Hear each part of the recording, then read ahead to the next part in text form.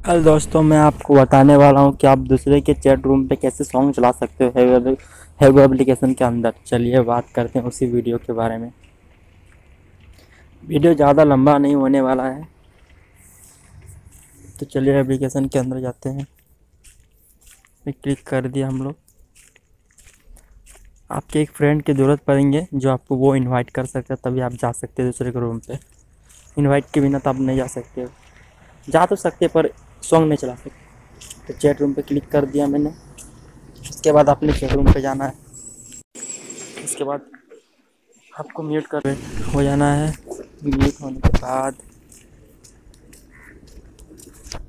Click करना है। जब तो म्यूज़िक चलाना जानते हो। म्यूज़िक पे जाना है प्लेलिस्ट पे रहना है। सही यहाँ पर आपको रहना है। उसके बाद आपको अपने फ्रेंड्स को इनवाइट करने बोला। जैसे ही इनवाइट आएगा, उस इनवाइट पे आपको क्लिक करना है। उस चेयर रूम पे चले जाना है और आपको वहाँ पर सीट लेना है। सीट लेने के बाद आपको दो बार बैक करना है। दो बार बैक करोगे तो आपका प्लेलिस्ट शो कर जाएगा वहाँ से और वहाँ से आप सॉन्ग चला सकते हो। वीडियो अच्छा लगे तो लाइक करें, नहीं हो तो सब्सक्राइब करें और कमेंट नहीं समझ में आए तो कमेंट्स कर सकते हो। नीचे मैं बता दूँगा और अच्छे से।